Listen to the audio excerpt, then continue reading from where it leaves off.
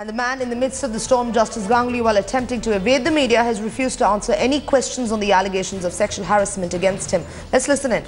Sir কোনো প্রশ্নের উত্তর আমি দেবো না এক আমি যা করার আমি ঠিক করবো আপনাদের কোনো প্রশ্নের উত্তর আমি দেবো না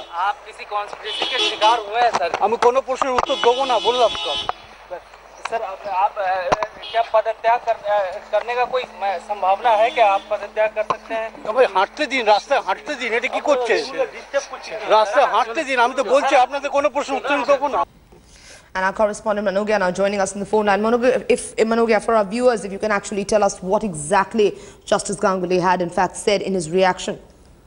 Well, the first reaction that came in from him was that he would not answer any queries from the media.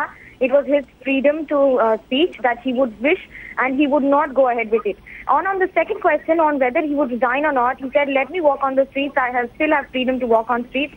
That does not mean that you will uh, interfere in my day- day-to-day functioning. Perhaps a very stern reaction coming in from him. Despite all the allegations that have been against him, he has been either maintaining a silence or has been completely defiant on the questions that we have been asking him. And this time again, even on the Human Rights Day, it's a similar reaction that comes in from this person.